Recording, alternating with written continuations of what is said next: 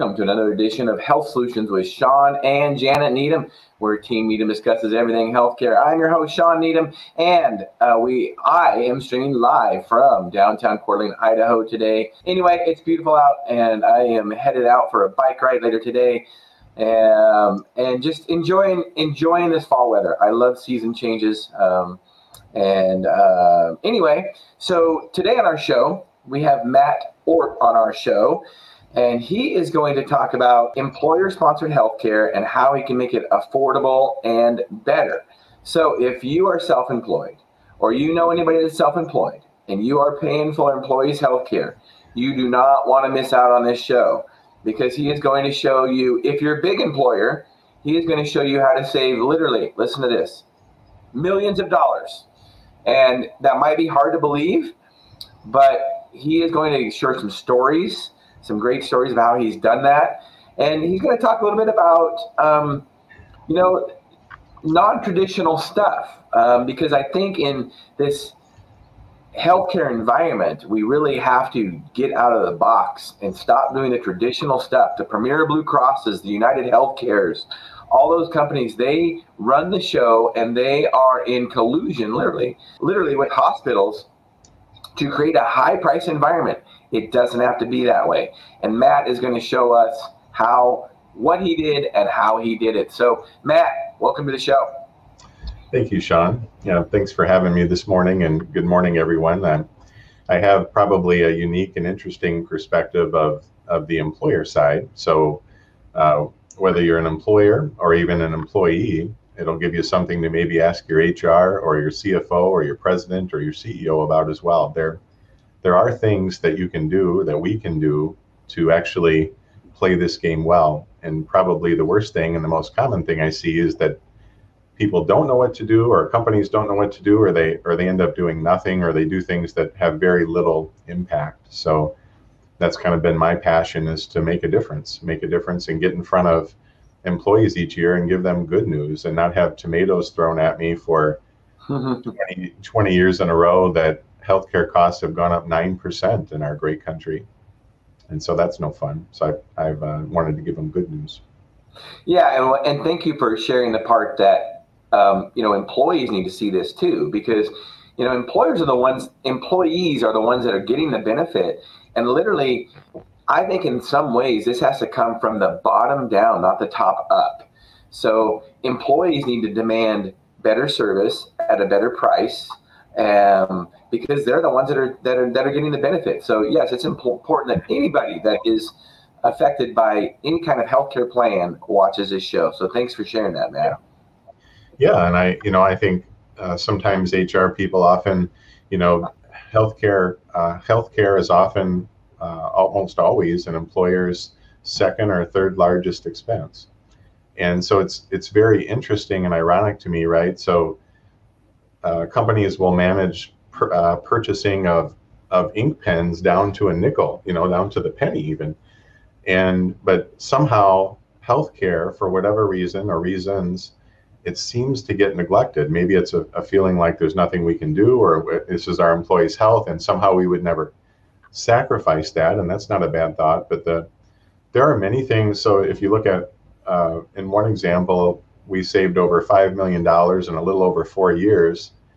We added a whole bunch of benefits. So this notion that you have to like cut things to save money or cut services or cut quality, we did all the opposite. We increased quality, we increased services, and we can talk about some of those details.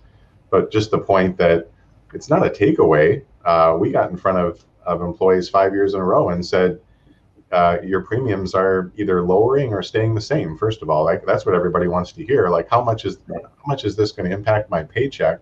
You know, is my is my raise gone or more or even more? Right? Like, uh, so those are those are bad stories, and so all that's avoidable if you know doing the right things.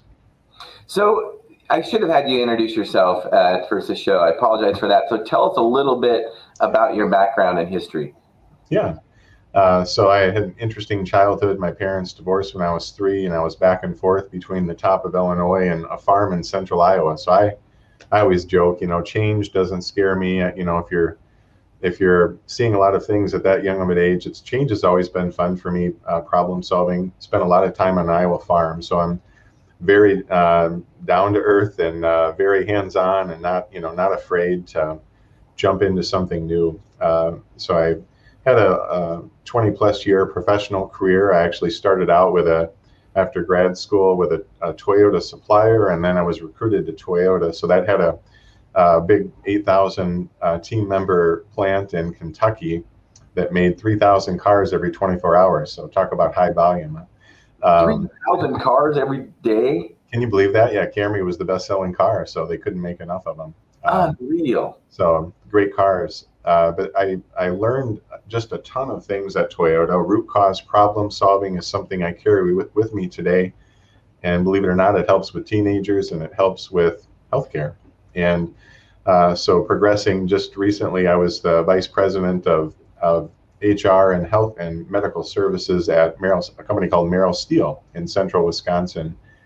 And it's kind of funny to me, you know, the first what uh, whatever roughly 20 years of my career, uh, and, and, this is a, a, point for employers or HR if you're hearing this or anyone, I didn't like healthcare. I I thought it was boring. Um, it was just kind of a nuisance. You know, I knew the basics, but I I didn't, it wasn't anything special to me. We just kind of got through the enrollment and we moved on. That was always about culture and leadership and things like that. And I just ran some graphs. I started looking at the healthcare costs and I about fell out of my chair. Um, Shawn had mentioned the huge dollars. You know, when I think one of the things I told the owners from the start, it, when we're talking healthcare, and it depends depends on the size of the company, right? But when we're talking healthcare, we're not talking in thousand dollar increments or ten thousand dollar increments we're talking in $100,000 increments. So maybe some of the stories I'll share today are examples. I always joke like it sounds like I'm making up numbers. It sounds like I'm just horrible liar or exaggerator, and I'm I'm not. Um, those are you know real numbers kinds of things, but that's just where healthcare has gotten today. Is it feels like we're like playing Monopoly or something and say, oh, that we saved 150 grand by this thing. No, I always joke $50,000 phone calls. Literally, like I made a phone call and just say 50 grand. you know, I don't know any, I don't know how you do that in purchasing when you, you know, you buy pencils for a nickel each less. You know, I, I mean, because all those avenues have been uh, belabored and healthcare is a frontier. So if you like fun and if you like challenge, like me, I see, I don't see a problem. I see an opportunity and so that's fun for me and so that's why healthcare is one area that i've had success in so let's back up just a little bit if you don't mind um, so why do you think that is I, you know you, you mentioned purchasing so as a selling pens or pencils or whatever eh, analogy you want to use you could never pick up the phone and save $50000 with one phone call like that no, um, but you can with healthcare and it sounds like you can do it in multiple areas so in you know in multiple areas of healthcare. So w- can you explain that? Absolutely, yeah. So, um, and I've got some some good stories that I can lead into here. One one about MRIs, for instance. Let me lead with this before I go there.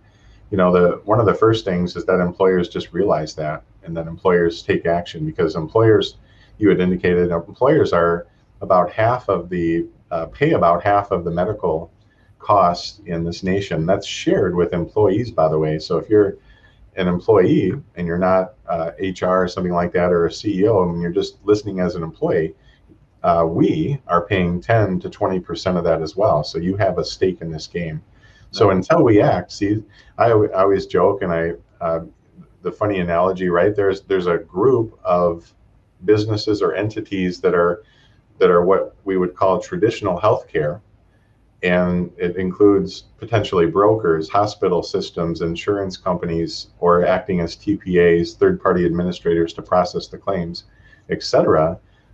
They're riding a gravy train with biscuit wheels, as the joke joke is, right? So, um, if you were riding a gravy train with biscuit wheels, would you jump off, right? You know, I mean, if there was an ethical issue, you should, and there are some ethical issues. Right. Uh, but I think one of the things we as people we can justify about anything, right? So we run into this little little ethical issue, but you know that's my livelihood, by the way. So I'm gonna I'm gonna rationalize it. So I think if you're a broker listening or others, um, be careful, right? Be careful because there is a right and a wrong, and and um, sometimes we can rationalize things um, and make maybe what isn't right. So isn't right sound right. So I think you know one of the things that if every player in the in this game plays ethically and well, then it probably doesn't turn into uh, Animal Farm, as I like to use as an analogy. So I don't know if Shawn, you've read Animal Farm, but it's an old uh, George Orwell book. Yeah. But it basically says things start out with great intent and and then I'll say then they go Animal Farm, right? They go they go bad. Um, uh, healthcare is one of those, right? Healthcare started out probably just fine, and then it then it just turns sour. Money gets in the way, the love of money and greed and everything else uh, ruins it. So one of the themes, you know, the biggest the biggest theme that I promote when I would get in front of and do get in front of employees, and I'll lead this into my MRI story that I'm keeping you hanging on here.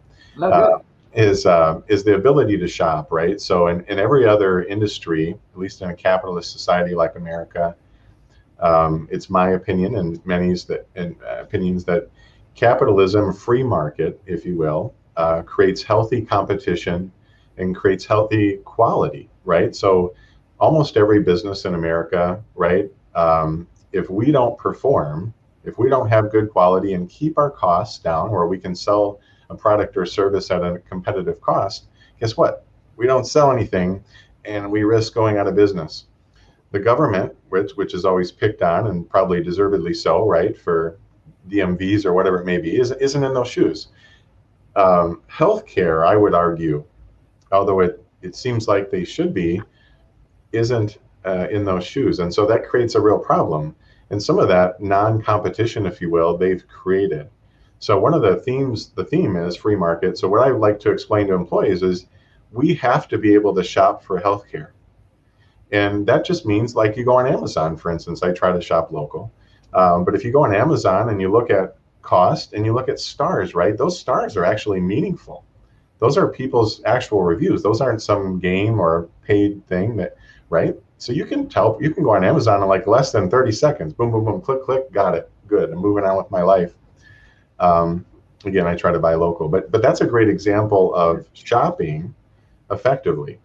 So if we think about it, so if you're human resources or if you're someone CFO in charge of healthcare, let me tell you this. Let me tell you. Let me give you a quick. This is something I realized like two years into this journey. By the way, this is these are not all things I've known for many years. You you learn little nuggets along the way.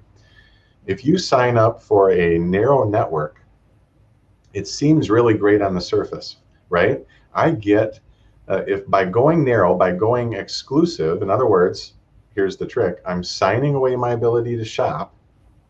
Uh, hint, don't do that. I'm signing away my ability to shop. I'll save 40% or 50%, right? It sounds really good.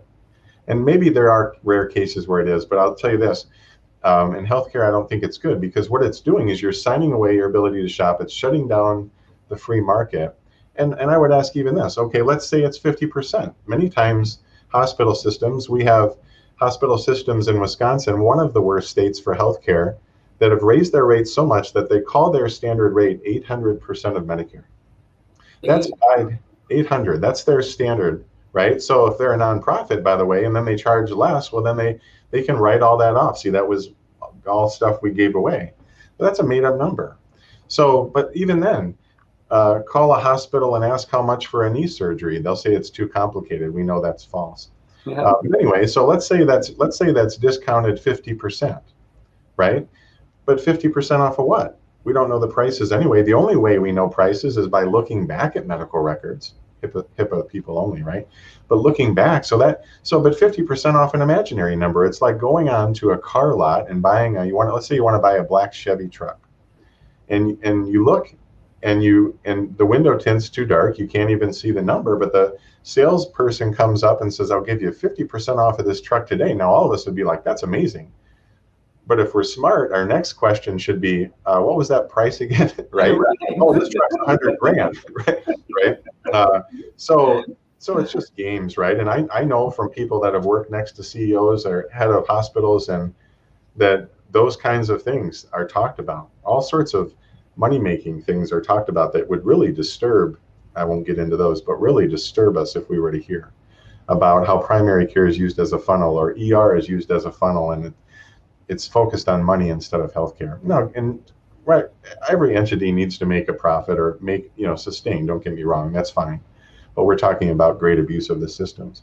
So I'll give you uh, the fun. Uh, I've got many, but the fun MRI story. So at Merrill Steel, we uh, and many companies are doing this. There's a new one popping up, uh, just actually from the MRI company, but uh, at least in the Midwest, and I think many areas, if you've ever seen one of those big semis, they say MRI scanner on the side, and whatever it may, whatever the label may be, but they're well known. So there's semis that drive around, and they have a modern wide bore MRI machine in there, probably something like a three million dollar machine, right? That hospitals don't want to invest in or others. So these companies are are traveling around. They'll they'll park at a hospital system and they'll plug into a 480. They'll park usually hospital systems is where they park. So, but we, um, one of the things I did was we had, I had talked to the Alliance, which is a, a co-op in Wisconsin with over a hundred thousand members. They're not for profit.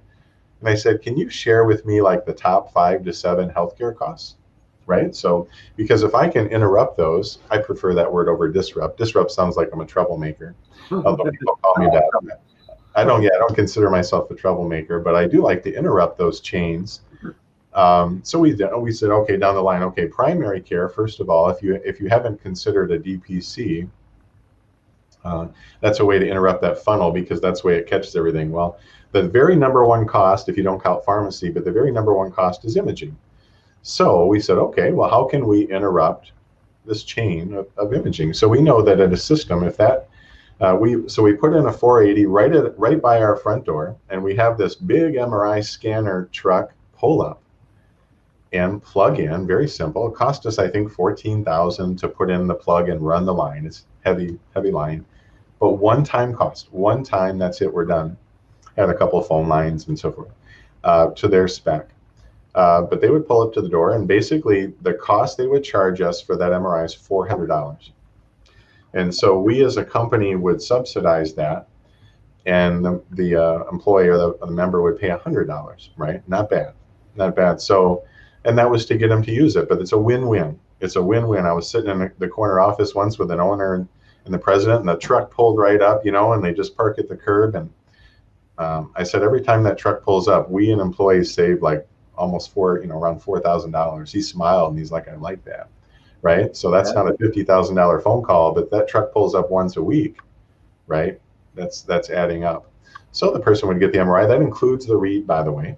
And so, but interesting. So that driver who's the tech gets back in that truck, drives, in that case, 15 minutes north, jumps on the little four lane, exits, goes to the hospital system, backs up to their plug-in, to the hospital system's plug-in, and and they a little better. They make it look like um, you know it's another room. Uh, they don't have the little lift like we have, but it's the same truck, same driver, same machine, same everything.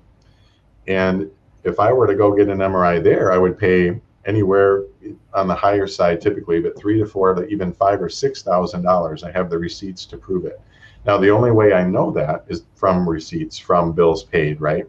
Because they don't tell you. It's just not in the hospital's way uh, to tell you the price. You go into a store, there's a menu. You go to the truck lot, even though it's an exaggerated MSRP, you still have one. You have a starting point. Uh, we don't get that privilege with hospital systems, and that's there's there's a, there's executive orders and things trying to fix that, but not fast enough. Yeah, I, that's one of the big problems that you are alluding to is lack of transparency. I mean, there's just not transparent pricing, and that's got to be a problem because you can't shop for healthcare if there's not transparent pricing. So guess what?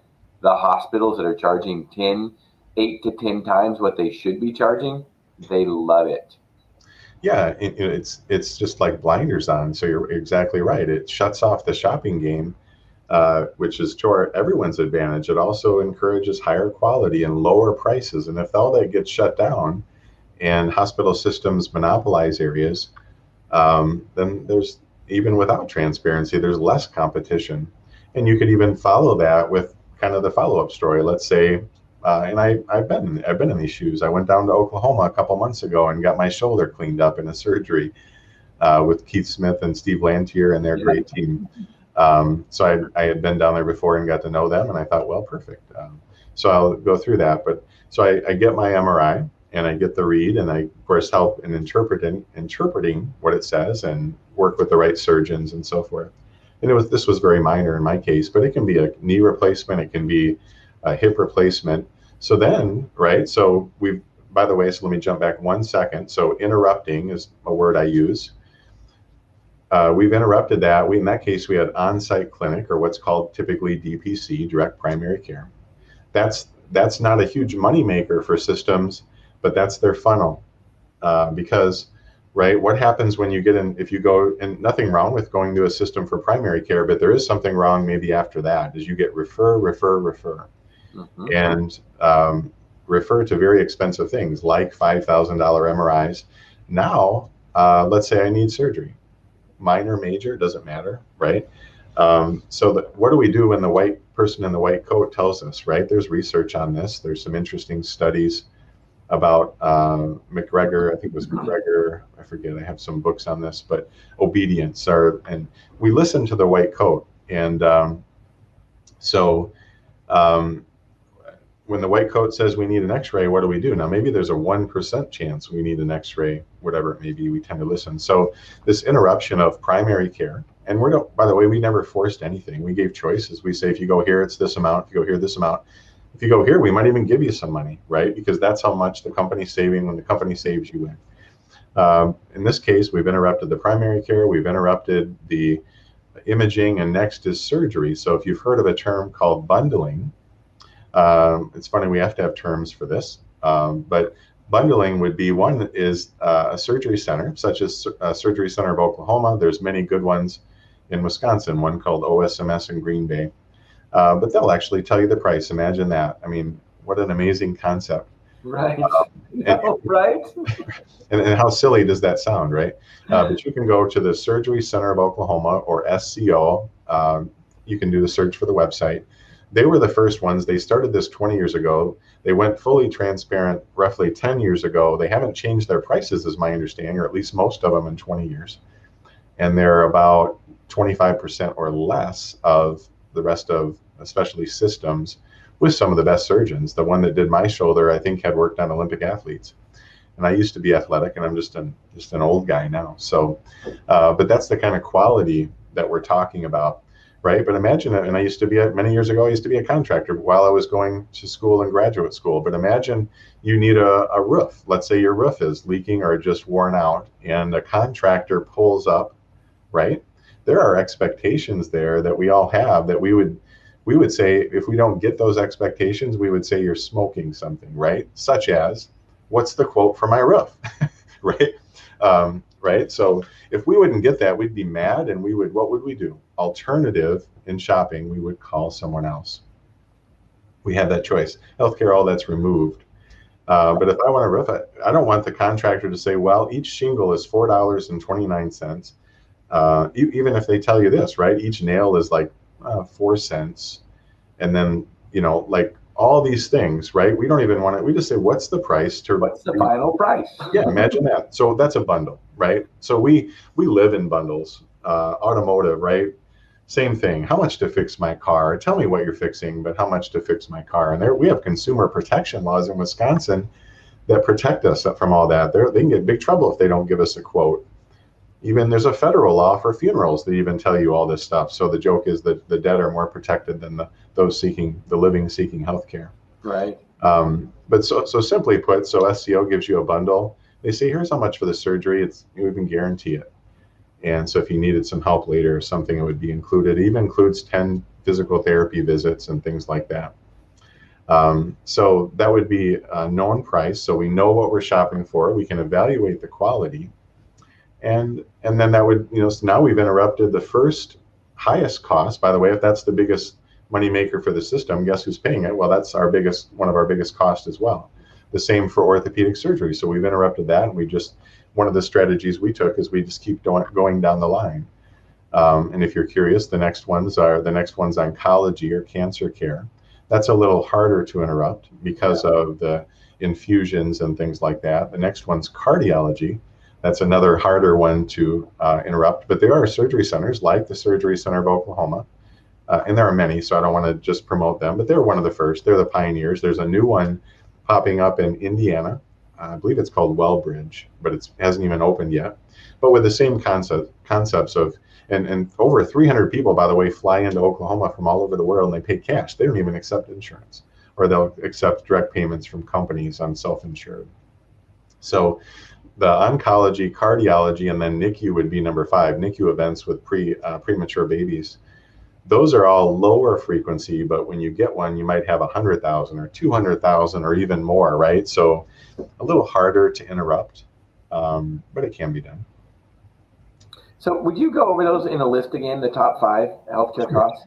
Yeah, absolutely. Uh, so pharmacy would be in there as well. Pharmacy is kind of a different game, and I enjoyed. I, I watched one of your podcasts on pharmacy and and how that and how you have even chains of shutting off the free market again.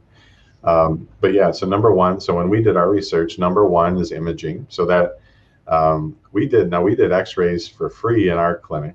Um, so not all clinics can do that, but you know X-rays, CT scans, PET scans, especially MRIs, I think are the most common.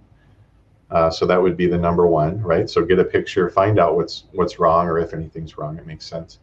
And then number two would be orthopedic surgeries, so joints.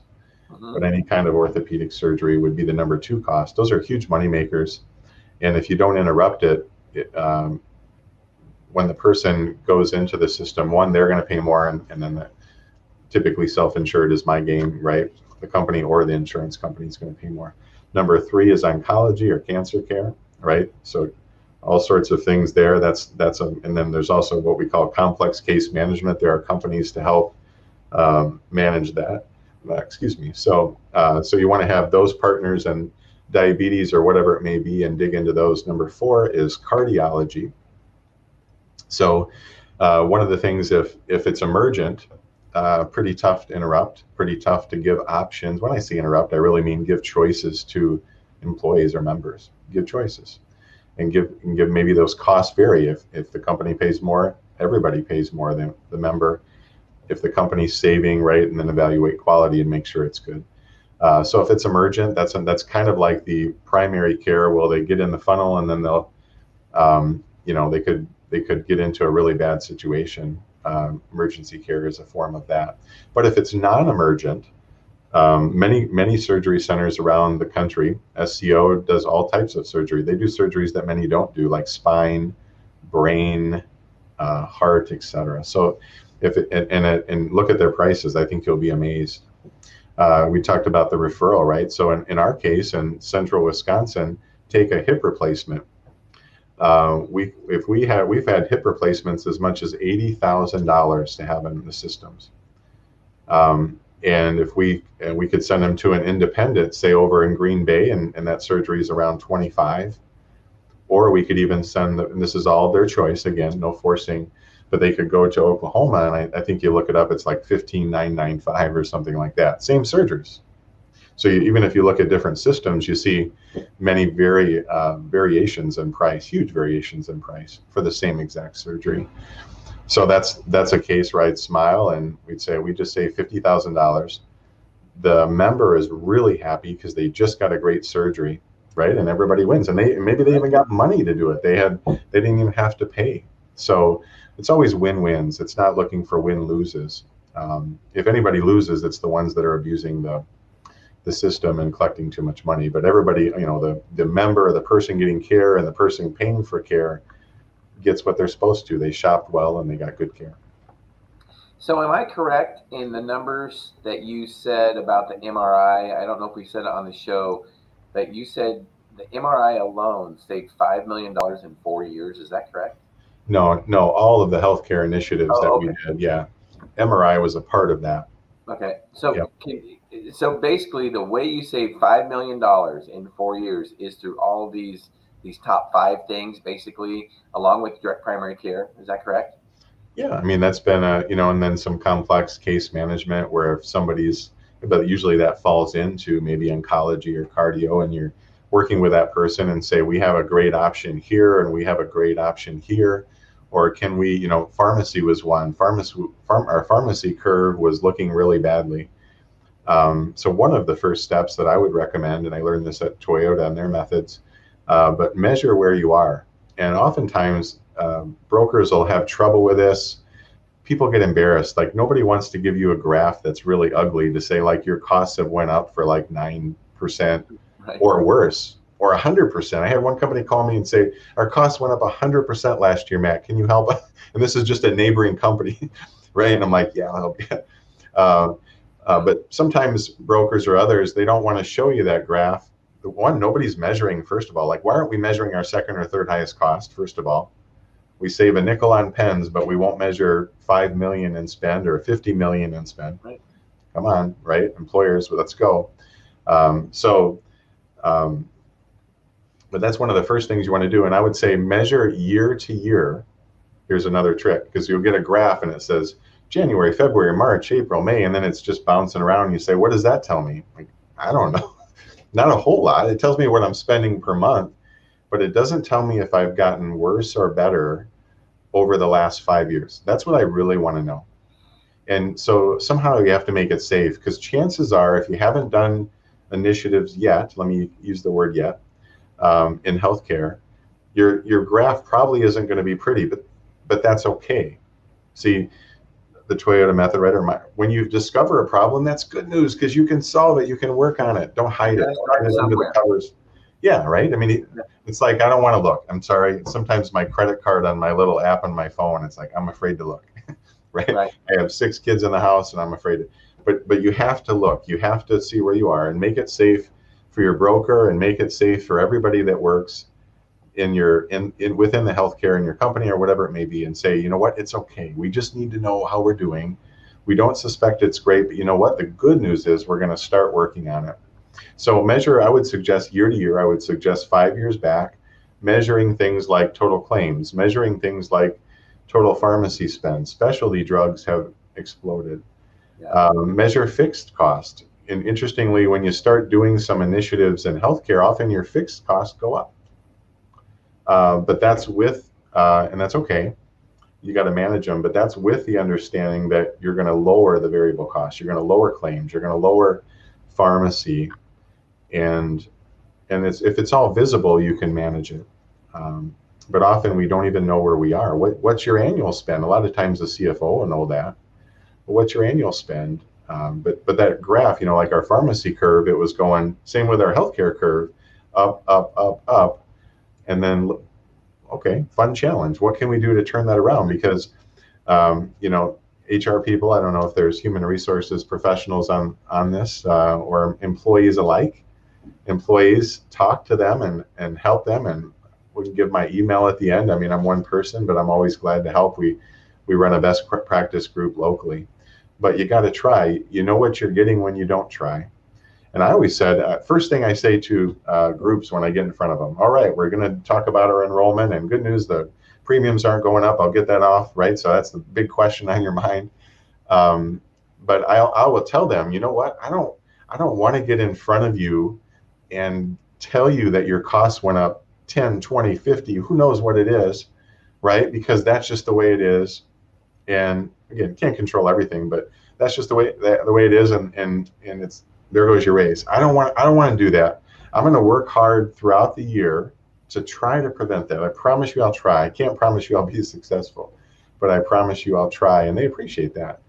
And uh, where they know their family members and their friends are getting in those same meetings and hearing really bad news.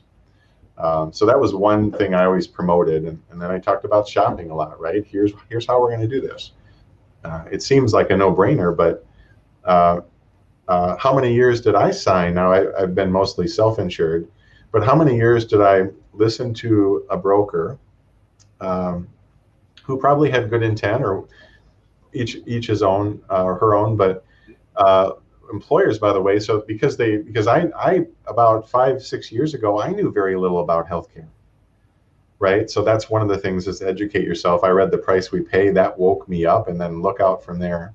So if you haven't read that book by Marty, I, I believe his name's Makary, pronounced, I'm not sure, but He's Marty Makary um, is read that book, and that'll that'll shake your tree a little bit. Uh, but just kind of recognizing the things in healthcare and and what's happening, and is a is the first one of the first steps. Yeah, and I think the first step is, like you say, I mean, shop. I mean, th- there is op- there are options out there, and that's why for so long, I think consumers have been taken advantage of is because they just didn't think there was an option. And I will say, speaking of books, I wrote a book about it, and um, being a guest on my show, you'll you'll get a copy of it, Matt. And it's called Sickened: How the Government Ruined Healthcare and How to Fix It. And you know, when you look at the history of healthcare, um, in fact, you know, um, uh, many times we blame well Medicare and Medicaid are the ones that really started this in the '60s when the government, federal government, started paying for healthcare services. But even worse than that, it's really what you and I are talking about: employer-sponsored healthcare Mm-hmm. It was never a thing until the 1940s right. when President FDR put a cap on wages. And you know, General Motors and Ford, they were booming. It was in, during the war, and they were booming, making airplanes and tanks and all that. But you know, if they wanted to entice another employee to come to work for them, they couldn't pay him any more than Ford or or Chrysler. So if it was General Motors, and so they had to say, well, guess what? we, we had this new program. It's called hospital insurance. Mm-hmm. And if you go to the hospital, you, or your kid goes to the hospital, we'll pay for it. And and like you said early on the show, that started with good intentions. Right. Yeah. Animal but, Farm. Right. Yeah, but now you know, um, seventy years later, what has healthcare become? It's become a monster, and partly why is because somebody else was paying the bill. Right. And largely, employees did not really, they didn't know how much it was really costing them. But when companies like yourself say, look, this is your options now, and you either get a raise or you do this, um, that's really what has to happen. It's got to come from the bottom up. And one thing in my book, I have a six step solution. That's what makes my book a little bit different, is I actually try to solve the problem and, and give some ideas. And the first step is employees have to, or just consumers in general, they've got to be proactive in their own health, period. Right. And that includes financial. So it needs to, they, they need to know what these things cost. And um, the financial piece of it is very important, just like it is in any other industry. Yeah, big time. Uh, I did read your book, by the way, because I actually I traveled back with a colleague, Crystal. It was kind of, and then oh, that's I, right. I, I got I got in your drawing, and she's like, "You're going to find this really funny," but you won. You won the drawing. So I did that's read right. your book. You did. You won my book. That's right. Congratulations. A, thank you. And you did a great job of articulating that about you know having some skin in the game and just um, prosperity kind of leading to laziness a little bit, whatever word you want to choose, right? Where we just don't manage our money and don't manage our health, and um, and that's our responsibility. We don't like to take responsibility for things maybe today in our country, but that's still a, a core value. Keith Keith Smith, one of the founders of the Surgery Center of Oklahoma, he says, you know, I haven't been to medical school. That's not my background, but uh, you know, I've seen Patch Adams, so this must be true. But one of the first things they teach in in um, medical school is do no harm, right? I think that's fair. Uh, many yep. still talk about that. He said, we have, so we took an oath to do no, uh, do no harm, but what good does it do to take care of someone physically if we bankrupt them financially? Right. That's, that's doing harm. That's doing harm. So doctors not just care for the person's physical health, but their emotional health, spiritual health, mental health, financial health, whatever you want to plug in there, I think is really key. And um, human resources people, I, um, I'm candid about that because I was one or partially am one now. My role is a little different now, but um, you know, a lot of times I think they're they're told from their CEO or president, keep the peace, make people happy. Good luck with that one, um, right? No one can make anyone happy, but not everybody. we, we, can create environments maybe that are healthy, but um, uh, when we when you're talking about a nine percent national average for 20 plus years increase in healthcare. That's average. Many, many worse, right? I've heard horrible stories. But just to say that's the average, right? And no other industry has increased at that rate. If you could start a company and say you'll increase revenue 9% a year guaranteed, you'd smile and be like, gravy train with biscuit wheels and chrome biscuit wheels. Well, that wouldn't taste very good.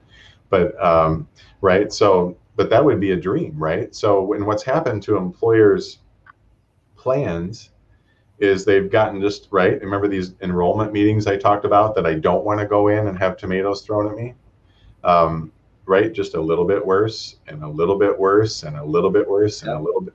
And so then 20 years later, you look up and your deductible is like eight grand, right? And so that now, now I'm if I'm not only am I paying a huge premium or contribution out of my check, which is already breaking me, I don't get health care until I pay what? Six, eight, ten thousand dollars. Now right. I don't so that's called uh, functionally uninsured is one term or cat is it's really so the many of the healthcare or the the benefit plan designs have turned into catastrophic plans right so now i'm avoiding healthcare because i'm paying for it all i'm paying for healthcare before i get healthcare out of my check but so there, it just creates this kind of thing so if you find yourself in, the, in that situation, I would say take it on as a fun challenge. You don't have to fix it all in one year. If you do some of the, the best practices, maybe you could at least freeze premiums for now. Maybe you could lower them. You can lower, you know, as you start saving money, guess what? You can lower your deductible back down to where it should be or scrap it and go with copays or whatever it may be. But there are there are many success stories in the nation. I've met people from Oklahoma, from Indiana, from various places that have employers that certain individuals that are maybe a little bit entrepreneurial like myself uh, weren't afraid to jump in. You know, when we when we started our first on-site clinic, I had dabbled in healthcare before a little bit, like an on-site NP NP or something like that. But I was working with one of the owners, and uh, it ended up costing us 150 for remodeling, like an 1,800 square foot clinic, and another hundred for tables and blood machines and you know desks and computers. But we so we were a quarter mil in in a company with 440 employees and about a thousand members. Quarter mil, and I'm I'm I had put it's kind of funny because I didn't know a lot of what I know now. I'm like, okay, we're gonna save on drug screens. Like we're gonna say, you know, we're funneling everything through it as, as possible, everything but hearing. We couldn't make it work. Um, but I'm like, I don't know, man. I could get fried on this one. This ought to be a good story a year later. Like, thanks a lot, Matt. Um, you know, we just threw a quarter million away. Well, guess how guess how long it took us to get that quarter mil back? Right. I you less than a year. Three months. three three months. You, so, you two hundred and fifty thousand dollars. Yeah, and there's always that new effect, and you know it, that pace didn't continue. Well, yeah. almost did because you talk about about a million bucks a year on a five million dollar spend. So it did really continue. So, and then we implemented more things, you know, so we said, we're on to something here, right? We just spent a fortune, but we got it back really fast. And by the way, whenever the company saves, the employees save and families. Right. It's not a selfish thing. It's always shared 80, 20, 90, 10, some are worse now, 70, 30, right? But it's always a mutual gain. So I always wanted to make that point as well. And then we're like, we should do more. And that's where I started saying, wow, we're not talking 1,000 increments or 10,000 we're talking just like it sounds like made up money kind of stories. I know, and, and really, the employer you're talking about, 440 employees, it what not a super huge employer, right? Really? No, not really. And, no. I mean, not compared, yeah, with some with uh, spends in the tens of millions. Yeah. yeah. So I mean, think about a company like you talked about Amazon earlier. Think about how many millions of dollars a month a company like Amazon can do simply by shopping for healthcare like people shop for Amazon products.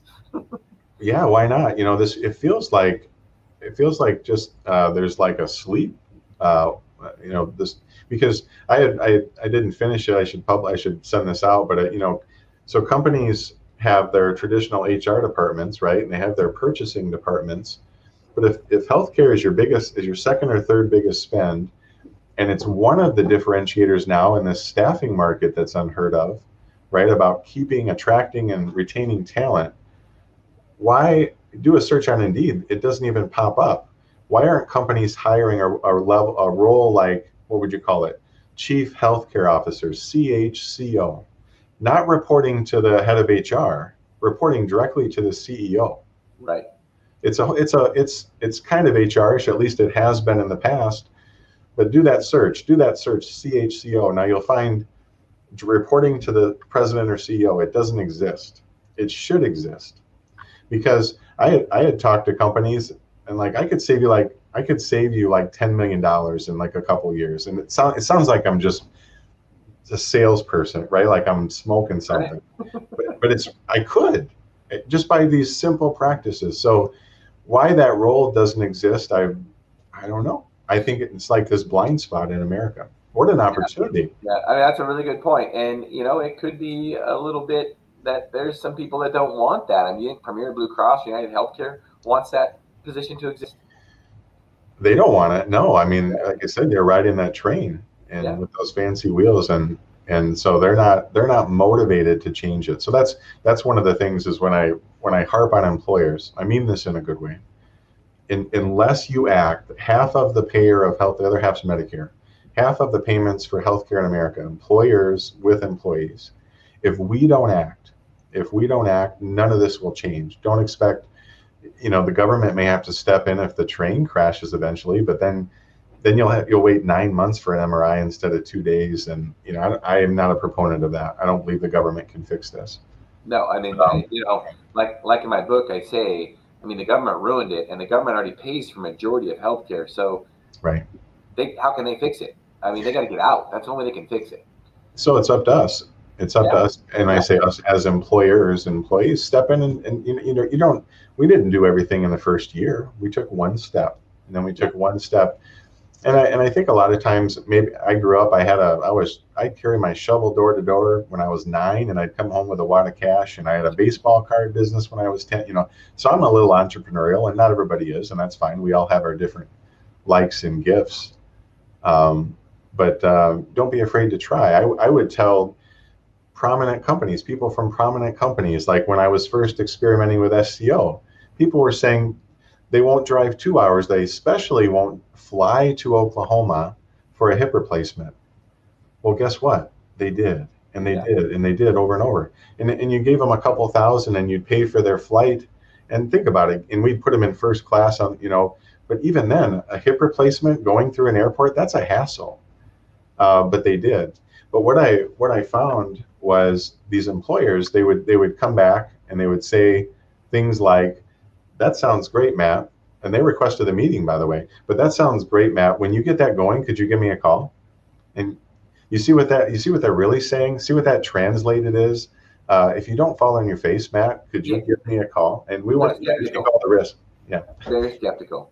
So, and and when I look at those things, I didn't see them as risky. It's like fifty thousand. Now let's see if the person's happy and they, and he or she had a good experience.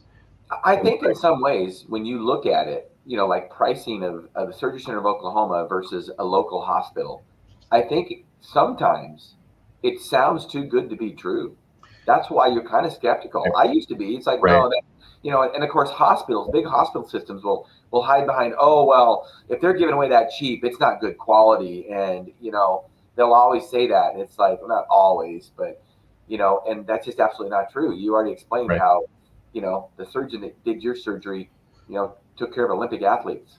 It's it's hard to fathom that you can spend less and get more, but when when a system's really broken, that is the case. It's just like yeah. lean manufacturing, right? When you're when you're doing 100 steps and you could do that same task in 48 steps, you save a bunch of time and money and your job just got easier.